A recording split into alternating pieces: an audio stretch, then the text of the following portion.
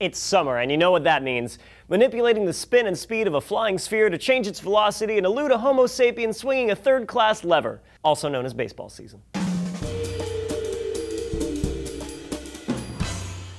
Hello, fans of sport and physics alike. Julian here for D News. Baseball is often called America's pastime, and it's mostly known for being a relaxed paced game that goes great with beer and hot dogs. But you know what else goes great with baseball? Science, that's right. Of course, any physical activity is going to have some physics behind it, and one of the more nuanced aspects of baseball to a non-fan is the physics of different pitches. Justin Allegri, broadcaster for the San Jose Giants, explains there's a lot more to a pitch than just rocketing the ball over the plate. By changing the grip, pressure, and release of the ball, the pitcher can alter its flight path and make the batter's life miserable. The most well-known pitch is the fastball, but there are different variations on the theme. The most direct one is a four-seam fastball, where the fingers are placed across four seams. On release, the pitcher imparts backspin on the ball. The result is the ball doesn't drop as much as it would otherwise, appearing to fight gravity and travel in more of a straight line. The pitcher is taking advantage of the Magnus effect, which is when a spinning sphere affects the air pressure around it, much like an airplane wing. The side of the ball spinning with the direction of travel is essentially moving against the air faster, creating more drag, creating more pressure, and causing the air to push on it.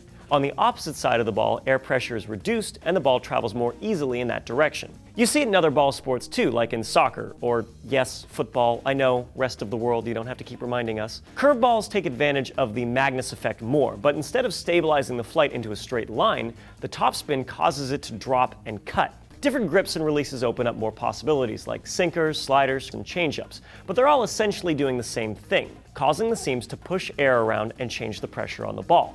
The exception to the rule is the knuckleball. A knuckleball is designed to spin only once in its flight. Moving through the air this way causes a Kármán vortex street, which is a string of vortices trailing alternating sides of the ball. The effect is the ball wobbles from side to side and its flight becomes impossible to predict. Clearly the seams play a huge role in affecting the flight of the ball. The seams on balls the pros use are smoother than those used by college players to give them less of an advantage in grip. The lower seams also give the batter an advantage. Because of the reduced drag, a batter will hit the smoother ball farther. You'll also notice balls that get hit in the dirt and scuffed are tossed out by the umpires, because a skilled pitcher can use the scuff to their advantage. Baseball pitches are a great example of people innovating and getting creative to elevate their game.